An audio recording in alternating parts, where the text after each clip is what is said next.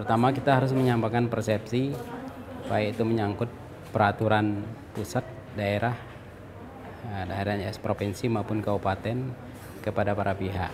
Karena tanpa ada persepsi yang sama atau peraturan yang sinergis antara kepentingan pusat dan daerah, saya rasa RAD dan GRK tidak bisa berjalan dengan baik. Gitu. Apabila kegiatan yang menyangkut RAD dan RK ini tidak dimasukkan ke dalam rencana pembangunan daerah yang dituangkan kepada di dalam Renstra setiap SKPD terutama dinas kehutanan dan instansi terkait saya rasa kita tidak akan bisa melaksanakan itu tanpa ada sinergisitas antara kepentingan pembangunan daerah eh, melalui SKPD itu. Karena di situ ada menyangkut masalah eh, penganggaran karena setiap kegiatan yang akan dilaksanakan RAD terkait dengan RAD dan GRK ini ada konsumsi anggaran yang harus kita anggarkan untuk melaksanakan uh, kegiatan itu.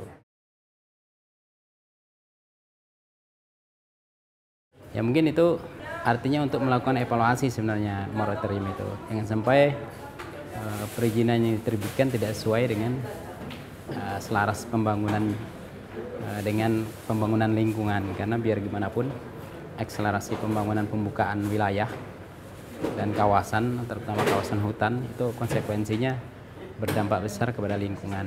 Nah ini juga harus perlu dievaluasi dengan adanya moratorium itu kan ingin mengevaluasi dan melihat kembali sejauh mana dampak yang ditimbulkan oleh apa namanya pembukaan-pembukaan kawasan itu terutama terkait dengan pembukaan wilayah untuk pembangunan.